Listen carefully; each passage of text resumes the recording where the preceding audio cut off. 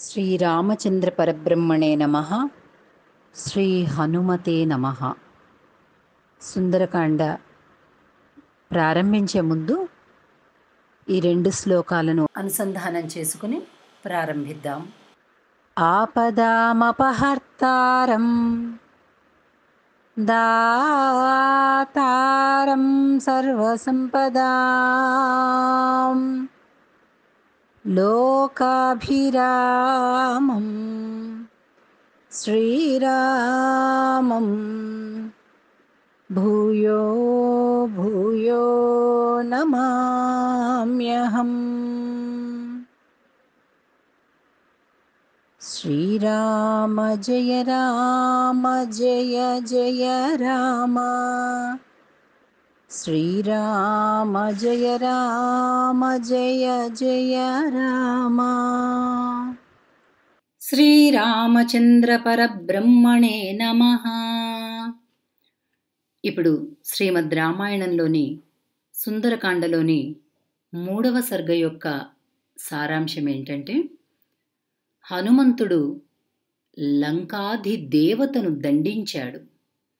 లంకకు ఒక అధిదేవత ఉంటుంది. ఆ దేవతను దండించి లంకలోకి ప్రవేశించారు. ఇది మూడవ సర్గ యొక్క సారాంశం. ఇప్పుడు ఈ మూడవ సర్గలోని ఒకటవ శ్లోకాన్ని సేవిద్దాం. సలంబ శిఖరే లంబే లంబతో యద సన్నిభే సత్వమాస్థాయ మేధావీ హనుమాన్ మారుతాత్మజ దీని తాత్పర్యం ఏమిటంటే మిక్కిలి ప్రజ్ఞాశాలి అయినటువంటి వాయుసుతుడు మహాబల సంపన్నుడైనటువంటి ఆ కపిశ్రేష్ఠుడు ఉన్నత శిఖరాలు కలిగి ఎత్తైన మేఘాలతో ఉండేటటువంటి ఆ లంబ పర్వతం అంటే త్రికూట పర్వతం అని పేరు దానికే. రమ్యములైన వనాలతోటి జలాశయాలతోటి ఉన్నటువంటి ఆ నగరంలోకి ప్రవేశించాడు హనుమత్స్వామి ఇప్పుడు సుందరకాండ మూడవ సర్గలోని రెండవ శ్లోకాన్ని సేవిద్దాం. నిశిలంకాం మహాసత్వో వివేశ కపికుంజర రమ్యకాననతోయాఢ్యాం పురీం రావణపాలితాం దీని తాత్పర్యం ఏమిటంటే ఆ రావణ పాలిత అయినటువంటి లంకా నగరంలో అనేక జలాశయాలు విలసిల్లుతూ రమ్యమైనటువంటి అందమైనటువంటి వనాలతోటి ఆ ఎత్తైన మేఘాలతోటి ఉండేటటువంటి ఆ దుర్భేద్యమైనటువంటి ఆ శత్రువులు ప్రవేశించడానికి అవకాశం లేనటువంటి ఆ లంకా నగరంలో ధైర్యాన్ని కలిగి ప్రవేశించాడట హనుమత్స్వామి లోపలికి. ఇప్పుడు సుందరకాండ మూడవ సర్గలోని మూడవ శ్లోకాన్ని సేవిద్దాం. శారదాంబుధర ప్రఖ్యై భవనైరుపశోభితాం. సాగరోపమ నిర్ఘోషాం సాగరానిలసేవితాం. దీని తాత్పర్యం ఏమిటంటే ఆ లంకానగరం శరత్కాల మేఘాల వలె స్వచ్ఛములుగా ఉన్నాయట. అలాంటి హర్మ్యాములతోటి అంటే మేడలతోటి భవనాలతోటి విలసిల్లుతూ ఉందట. సముద్ర ఘోషలని మించే రాక్షసుల యొక్క భయంకరమైనటువంటి ధ్వనులతోటి నిండి ఉందంట. సముద్రం మీదుగా వచ్చేటటువంటి చల్లని పిల్లగాలులతో సేవింపబడుతూ ఉందట ఆ దివ్య లంకానగరం. ఇప్పుడు సుందరకాండలోని మూడవ సర్గలోని నాలుగవ శ్లోకాన్ని సేవిద్దాం. సుపుష్టబల సంఘుష్టాం యథైవ విటపావతీం. చారుతోరణైర్యూహాం పాండురద్వారతోరణాం. దీని తాత్పర్యం ఏమిటంటే ఆ లంకాపురి బలిష్టమైనటువంటి సేనలతోటి నిండి ఉందట. అక్కడ ద్వారబంధాలపైన మత్త గజములు చెక్కబడి ఉన్నాయట. అది స్వచ్ఛమైన ద్వార తోరణాలు కలిగి అలకాపురిని తలపింపచేస్తుందట. ఇప్పుడు మూడవ సర్గలోని ఐదవ శ్లోకాన్ని సేవిద్దాం. భుజగాచరితాం గుప్తాం శుభాం భోగవతీమివా. తాం సవిద్యుద్ఘనాకీర్ణాం జ్యోతిర్గణనిషేవితాం మందమారుతసంచారాం యథేంద్రశ్యామరావతీం. దీని తాత్పర్యం ఏమిటంటే ఆ లంకానగరం భోగవతి వలె అంటే పాతాళ నగరం వలె సర్ప సంచారములతోటి సురక్షితమై ఉందంట. అలాగే సుందరమై ఉందట. అది ఇంద్రుడి నగరమైనటువంటి అమరావతి వలె మెరుపులతో కూడిన మేఘాలతోటి వ్యాప్తమై నక్షత్ర మండలంతో శోభిల్లుతూ ఉందట. అక్కడ చల్లని పిల్ల వాయువులు వీస్తూ ఉన్నాయట. అది సకల వైభవములతో ఒప్పారుతూ ఉందట. ఇప్పుడు సుందరకాండలోని మూడవ సర్గలోని ఆరవ శ్లోకాన్ని సేవిద్దాం. శాతకుంభేన మహతా ప్రాకారేణాభిసంవృతాం. కింకిణీ జాలఘోషాభిః పతాకాభిరలంకృతాం.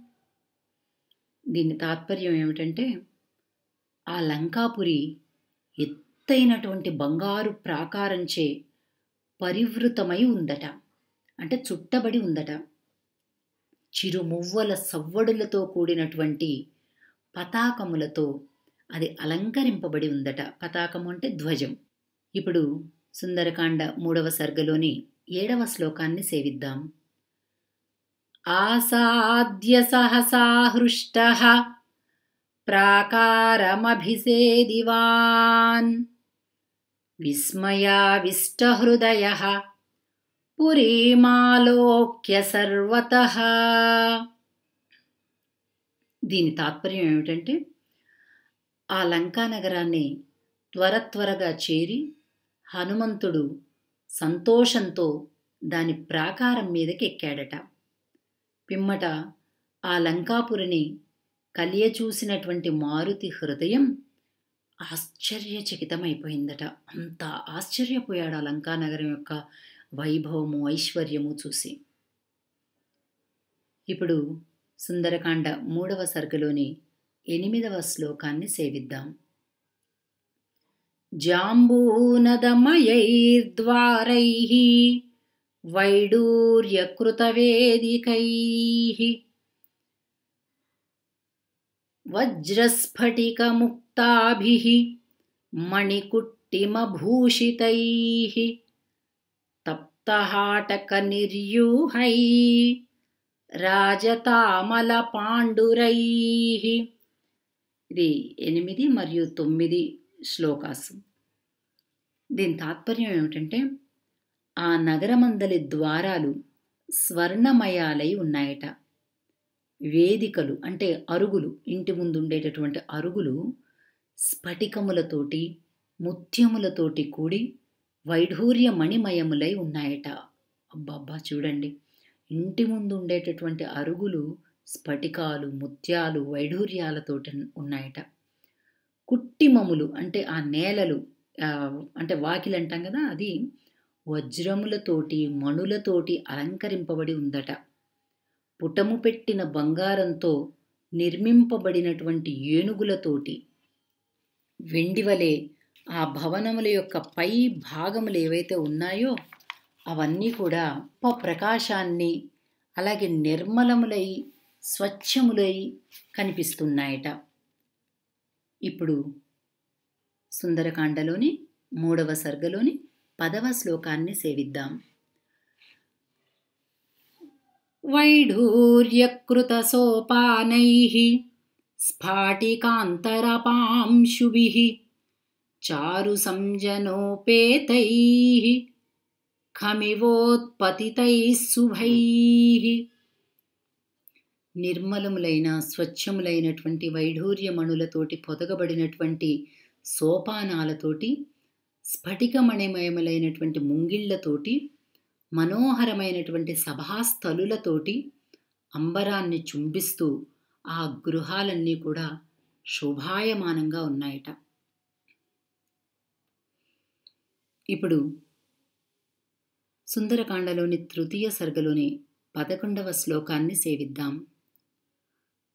క్రౌంచబర్హిణ సంఘుష్టై రాజహంసనిషేవితై తూర్యాభరణనిర్ఘోషై సర్వత ప్రతినాదితాం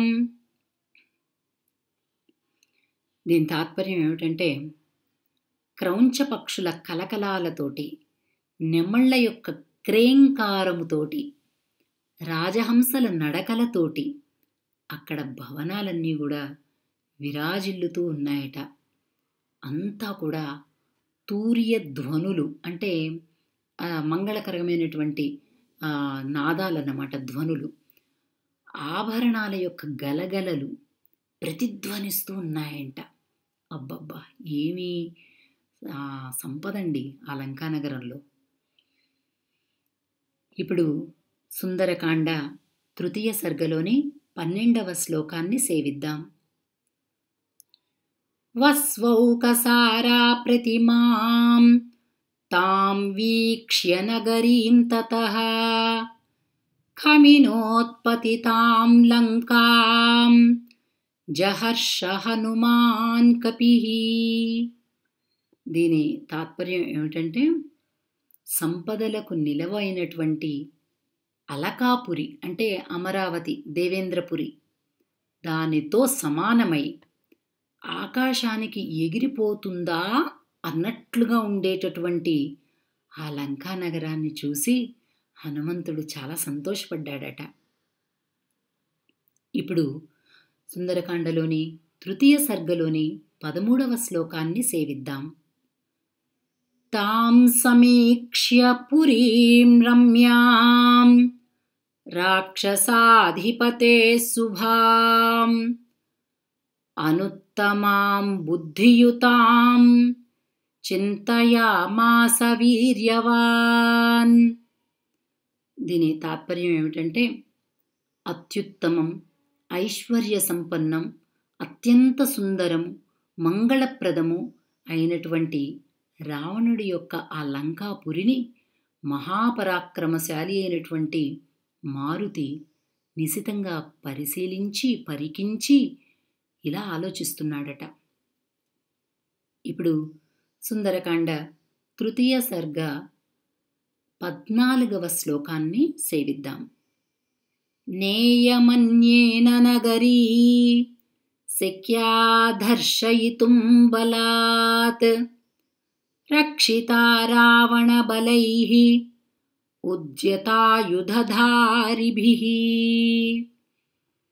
దీని తాత్పర్యం ఏమిటంటే ఆయుధాలతో సిద్ధంగా ఉన్నటువంటి రావణ సైన్యాలు రక్షిస్తూ ఉన్నటువంటి ఈ నగరాన్ని బలప్రయోగంతో ఇతరులు ఎవ్వరూ కూడా జయించలేరు అని అనుకున్నాడట హనుమత్ స్వామి ఒకళ్ళతోటి యుద్ధానికి వెళ్ళే ముందు బలాబలాలు సరిగ్గా అంచనా వేసుకోవటం అనేటటువంటిది విజయానికి మొదటి మెట్టు.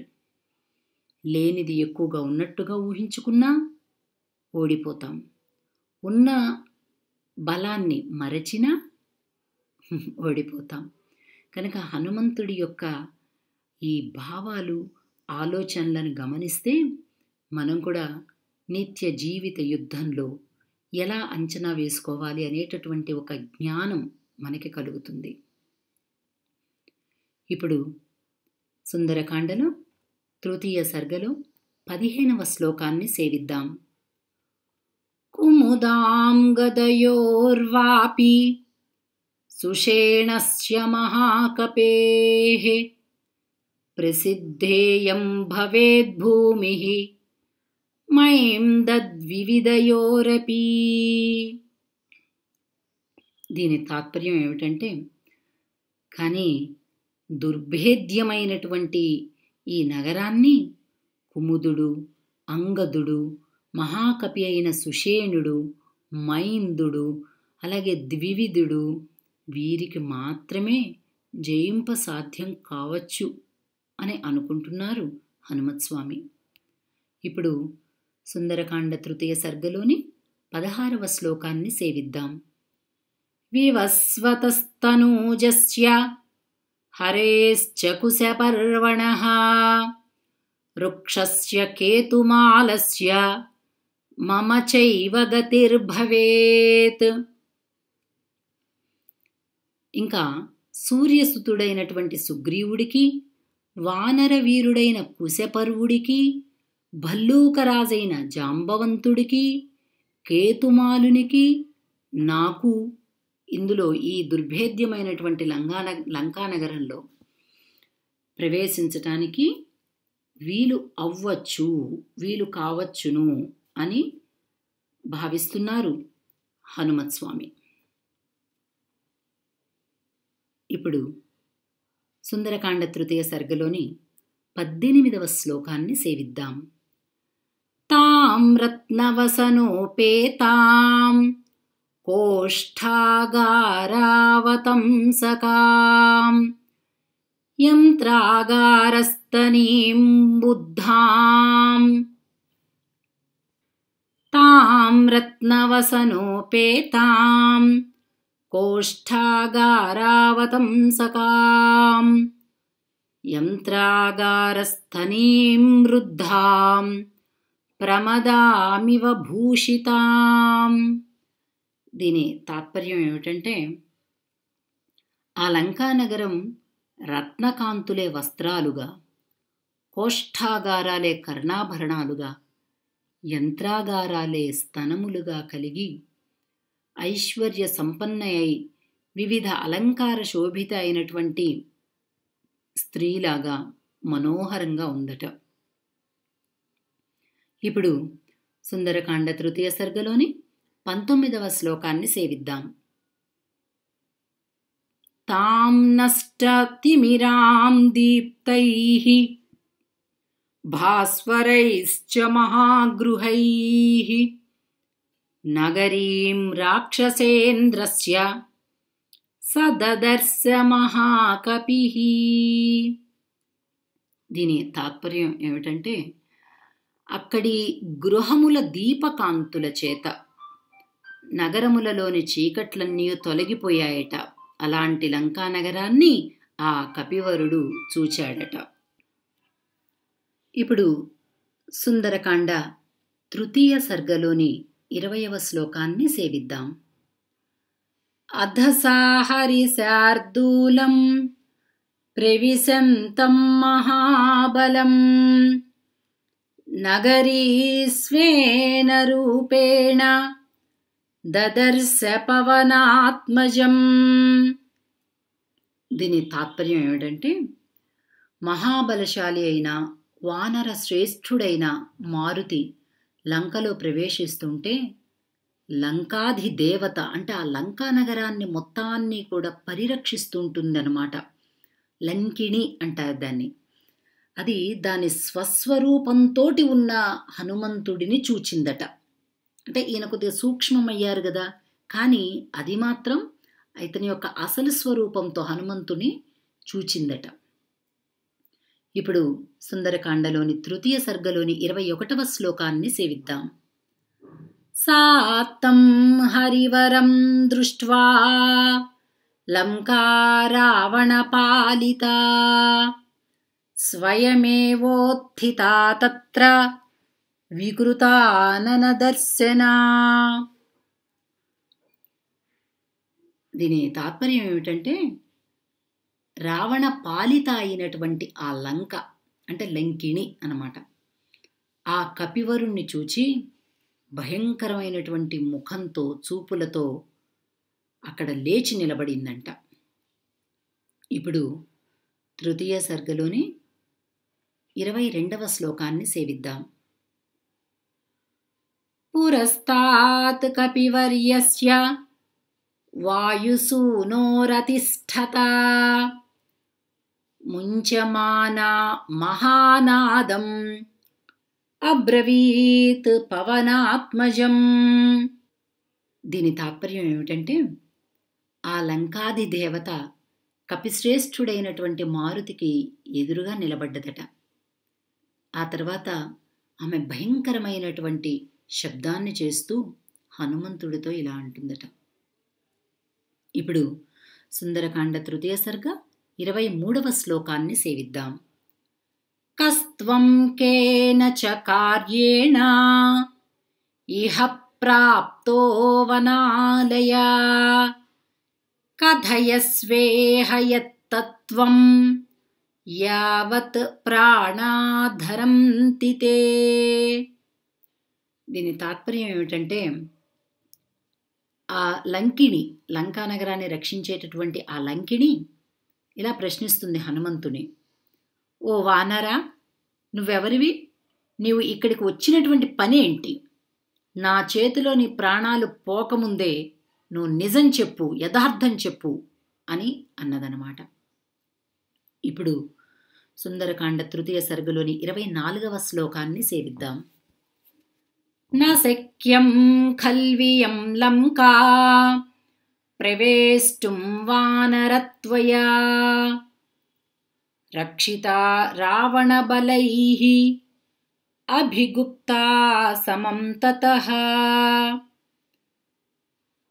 దీని తాత్పర్యం ఏమిటంటే ఓ వానర రావణ బలములచే అంత బాగా రక్షింపబడుతున్నటువంటి ఈ లంకలో ప్రవేశించటం నీకు అసాధ్యం సుమా అంటుంది లంకిణి హనుమత్స్వామితో. ఇప్పుడు సుందరకాండ తృతీయ సర్గ ఇరవై ఐదవ శ్లోకాన్ని సేవిద్దాం. అధతామబ్రవీద్వీరో హనుమానగ్రతస్థితాం కథయిష్యామి తే తత్వం యన్మాం త్వం పరిపృచ్ఛసి. దీని తాత్పర్యం ఏమిటంటే లంకిని హనుమంతుడితోటి మాట్లాడేటటువంటి సందర్భం అన్నమాట ఇది. అప్పుడు తన ఎదుట నిలిచినటువంటి లంకిణితో మహావీరుడైనటువంటి హనుమంతుడు ఇలా పలికాడట. నీవడిగినటువంటి యథార్థాన్ని నేను తర్వాత చెప్తాను. ముందు నీవెవరో చెప్పు అన్నాడట. జై శ్రీకృష్ణ జై శ్రీరామ్. మనమంతా కలిపి రేపు రాబోయేటటువంటి మే పదిహేడవ తారీఖు హనుమంతుల వారి యొక్క జయంతి. హనుమత్ స్వామి అనగానే ఎటువంటి కష్టంలో ఉన్నా మనవాడు అని పిలుచుకోదగినంత దగ్గరలో ఉన్నాడు అని అనిపిస్తుంది. ఇహలోక ఆటంకాలకు కానీ పరలోక సాధనకు ఉండేటటువంటి ఆటంకాలు కానీ అంటే ఈ లోకంలో ఎన్నో రకాలైనటువంటి కష్టాలు నష్టాలు ఇబ్బందులు ప్రతిబంధకాలు అనారోగ్యాలు అలాగే రకరకాలైనటువంటి పీడలు చెడు కళలు ఇలాగే ఎన్నో రకాలైనటువంటి వాటితోటి కలిపి ఉంటుంది మానవ జీవితం. కానీ సమస్య ఏదైనా కూడా చాలా అందుబాటులో ఉంటూ మనని పలకరించేటటువంటి వాడు అతి శక్తివంతమైనటువంటి వాడు రాముడికి దాసుడు మనందరికీ దేవుడు హనుమంతుడు. హనుమంతుడికి పదకొండు ప్రదక్షిణాలు చేస్తే అలాగే చాలీసా తొమ్మిది సార్లు చదివితే లేదా నూట ఎనిమిది సార్లు చదివితే లేదా సుందరకాండ పారాయణం చేస్తే అవ్వనివి జరగనివి ఏమైనా ఉంటాయా?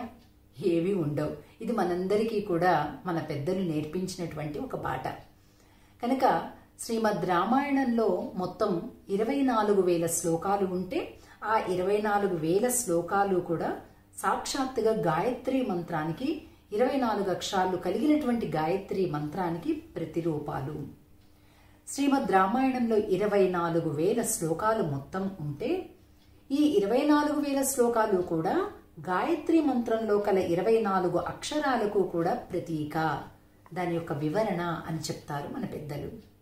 అయితే మొత్తం శ్రీమద్ రామాయణం కంటే కూడా సుందరకాండ ఏదైతే ఉందో హనుమత్ స్వామి యొక్క ప్రతి లీలను వైభవాన్ని వర్ణించేటటువంటిదని మనందరికీ కూడా తెలుసు. అందుకే సుందరమైనది సుందరకాండ. దానికి నీవే అండ అని అంటూ మనం హనుమంతుడిని ప్రేమగా కొలుస్తాం. కనుక ఈ హనుమత్ జయంతిని పురస్కరించుకొని మనం అందరం కలిపి సామూహికంగా సుందరకాండ పారాయణం చేద్దాం. ఈ పారాయణానికి కులాలు మతాలు స్త్రీ పురుష భేదాలు విద్యాధికులు విద్యాహీనులు పండితులు పామరులు అలాగే ఈ మతము ఆ మతము ఈ జాతి ఆ జాతి సముద్రము ఖండము ఏవి కూడా ఆటంకాలు కాదు. టెక్నాలజీ పెరిగిపోయినటువంటి ఈ నేపథ్యంలో మనం ఇదే టెక్నాలజీని ఉపయోగించుకొని ఇటువంటి ఒక మహత్తరమైనటువంటి బృహత్తరమైనటువంటి ఈ కార్యక్రమాన్ని మనందరం కలిపి చేద్దాం. సామూహిక పారాయణంలో ఉండేటటువంటి సౌందర్యమే అది. అంటే నలుగురు కలిపి ఒక గ్రూప్గా ఒక సమూహంగా చేస్తే ఒక్కడు ఒక్కసారి చేసిన నాలుగు సార్లు చేసినంతటి ఫలితం అన్నమాట అలాగే వంద మందితో చేస్తే ప్రతి ఒక్కడికి వంద సార్లు పారాయణం చేసినటువంటి ఫలితం వస్తుంది. అలాగా మనము ఈ సుందరకాండని ప్రతి ఒక్కరం కూడా ఒక్కొక్క శ్లోకాన్ని పంచుకుందాం. ఏకకాలంలో ఆ ఒక్క శ్లోకాన్ని ప్రతి ఒక్కరం తొమ్మిది సార్లు చదువుదాం. దీన్ని ఎలా చేయాలో ఎలా చేయవచ్చునో చెప్తాను. మేము చాలా నిదానంగా నెమ్మదిగా ఇప్పటి వరకు సుందరకాండ పారాయణం చెయ్యటం తెలియని వారి కూడా అనుసరించే విధంగా నిదానంగా శ్లోకాన్ని చదివి దానికి క్లుప్తంగా తాత్పర్యాన్ని చెప్తాం. దీన్ని యూట్యూబ్ వీడియోస్లో పెడతాం. శ్రీ సేవా ఫౌండేషన్ అనేటటువంటి మా యూట్యూబ్ ఛానల్లో దీన్ని పెడతాం. ఇది ఫౌండేషన్ ద్వారా జరిగేటటువంటి కార్యక్రమం. దాన్ని ఎవరైతే మొత్తం అరవై ఎనిమిది సర్గులు ఉన్నాయి సుందరకాండలో. అరవై ఎనిమిదవ సర్గలలో ఒకటవ సర్గలో నేను ఒకటవ శ్లోకాన్ని చదవాలి అని అనిపిస్తే ఆ వీడియోలో కింద కామెంట్ బాక్స్ ఉంటుంది. ఆ కామెంట్ బాక్స్లో ఒకటవ సర్గలోని ఒకటవ శ్లోకాన్ని అంటే ఈ పైన ఉండే వీడియోలోని ఈ శ్లోకాన్ని ఈ నెంబరు కలిగినటువంటి ఈ సంఖ్య కలిగినటువంటి ఈ శ్లోకాన్ని నేను తీసుకుంటున్నాను. I'm going to take this shloka అని మీ మీ భాషలలో మీరు కింద కామెంట్ చేయొచ్చు. శ్లోకం నెంబర్ వేస్తాం కాబట్టి ఎవరు ఏ భాషలో రాసినా అందరికీ అర్థమైపోతుంది. ఓ ఇది ఖాళీగా లేదు కదా? కాబట్టి నేను యాభైవ స్వర్గలో సర్గలో యాభైవ శ్లోకం తీసుకుంటా. అలాగే అరవై ఎనిమిదవ సర్గ అన్నిటికంటే చివరి సర్గ అరవై ఎనిమిదవ సర్గలో పదో శ్లోకం తీసుకుంటా. ఇలాగా మనకి ఏది ప్రీతిగా అనిపిస్తే ఏది అప్పటికి అవకాశం ఉంటే ఆ శ్లోకాన్ని మనం తీసుకుంటాం. అలాగే ఆ శ్లోకాల్ని వాటన్నింటినీ కూడా సమయాన్ని ఇక్కడ పొందుపరిచినటువంటి విధంగా ఆయా దేశాల వాళ్ళకు వాళ్ళ యొక్క కాలమానాలకు అనుగుణంగా మేము ఇక్కడ సమయాన్ని పొందుపరచడం జరుగుతుంది. కనుక ఆ సమయంలో మనందరం కూడా కలిపి ఏక సమయంలో పారాయణం చేద్దాం. ఈ వీడియోలో తొమ్మిది సార్లు అదే శ్లోకాన్ని కలిపి చదవటం జరుగుతుంది. ఆ తొమ్మిది సార్లు కూడా ఆ వీడియోతో పాటుగా మనం కూడా ఇక్కడ టెక్స్ట్ కూడా కనిపిస్తుంది. అలాగే మనం కూడా నోటితోటి చదవచ్చు అలాగే వినొచ్చు అలాగే మన దగ్గర మన మన భాషలలో ఏదైతే ఉంటుందో గ్రంథం దాన్ని కూడా తీసుకొని మనం సేవించవచ్చు. ఇలా చేస్తే రెండు వేల ఎనిమిది వందల ఎనభై ఐదు శ్లోకాలు ఉన్నాయి మొత్తం సుందరకాండలో. కనుక మనకి ఎంతమంది సభ్యులు కావాలి? ఈ మహామాల కోసం. అంటే హనుమత్ స్వామికి సుందరకాండతో ఒక స్తోత్ర మాలని మనం సమర్పిస్తున్నాం అన్నమాట కనుక రెండు వేల ఎనిమిది వందల ఎనభై ఐదు మంది సభ్యులు మాత్రం కావాలి దీనికి. ఒక్కొక్కరం ఒక్కొక్క శ్లోకాన్ని తొమ్మిది సార్లు నిర్ణీతమైనటువంటి సమయంలో పఠిస్తాం. కాబట్టి అప్పుడు తొమ్మిది సార్లు మనందరం కూడా సుందరకాండ పారాయణం చేసినటువంటి ఫలితాన్ని మనం ఒకే రోజులో పొందగలుగుతాం. కనుక వసుదైక కుటుంబకం అనేటటువంటి మన ఋషులు చెప్పినటువంటి మాటను నిజం చేస్తూ ఖండాంతరాలను దాటుతూ మనందరం కలిపి సామూహికంగా ఈ పారాయణ యజ్ఞం సుందరకాండ పారాయణ యజ్ఞంలో మనందరం పాల్గొందాం. జై శ్రీకృష్ణ జై శ్రీరామ్. జై వీర హనుమాన్. సనాతన ధర్మానికి సంబంధించినటువంటి విషయం. ఎంతమంది చూస్తున్నారు ఎంతమంది లైక్ చేస్తున్నారు ఎంతమంది సబ్స్క్రైబ్ చేసుకుంటున్నారు అనేటటువంటి విషయం మీద హిందువుల యొక్క ధర్మ జాగరణ ఎంత బాగా ఉంది అనేటటువంటి విషయం తెలుస్తుంది. కనుక శ్రీ సేవా ఫౌండేషన్ అనేటటువంటి ఈ మంచి మంచి విషయాలను తెలుసుకుంటూ దీన్ని ఆదరిస్తారని ఆశిస్తూ మీ కోకిల మంజులశ్రీ జై శ్రీకృష్ణ.